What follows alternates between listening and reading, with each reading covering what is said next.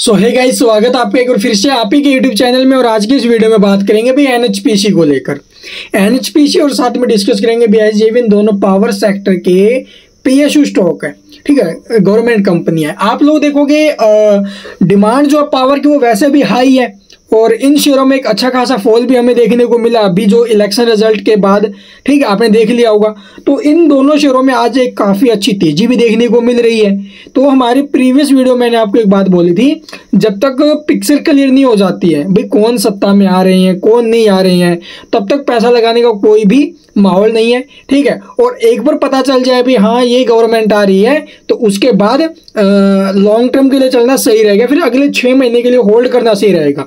अब आपको बता दूँ, देखो भाई एनडीए की गवर्नमेंट तो आ रही है, यानी कि एक बार फिर से जो प्रधानमंत्री है, वो नरेंद्र मोदी जी बनने जा रहे हैं। आठ तारीख को शपथ ले लेंगे, सब कुछ हो चुका है भाई कल एनडीए की बैठक थी, वहाँ पर सब फैसले आ चुके हैं, समर्थन पत्र जो है, उस पर साइन जो कुछ भी है, वो उनका ले लिया गया है।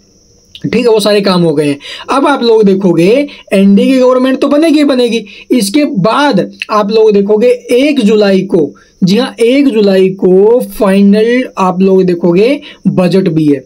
पहले इंटरम बजट आया था फरवरी में, अब फाइनल बजट है।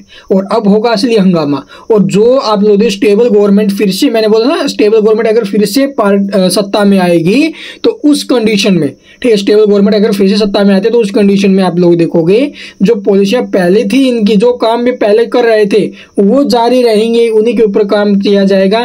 तो आपको पता होगा, बहुत सी योजनाएँ हैं सोलर से रिलेटेड है पावर से रिलेटेड है, ठीक है। तो इन सबको देखते हुए, इन शेयरों में काफ़ी अच्छा इफ़ेक्ट आएगा भाई। और और इन्हें लॉन्ग टर्म के लिए होल्ड करना सही है। एनएचपीसी ऊपर में क्या टारगेट आपको दिखा सकता है? आज स्टॉक में छह से सात परसेंट के करीब तेज़ी है। दूसरी तरफ़ एच में भी पाँच से छह परसेंट की गजब की रैली बनी आज के दिन। तो चलिए देख लेते हैं इनके चार्ट वगैरह आगे के कैसे रहेंगे लेवल तो यहाँ पर देख सकते हो भी एनएचपीसी के अंदर हमें एक अप ट्रेंड देखने को मिल रहा था। इलेक्शन रिजल्ट्स के चलते आप लोग देखो यहाँ पर ब्रेक डाउन स्टॉक में आया, लेकिन सपोर्ट 91 का।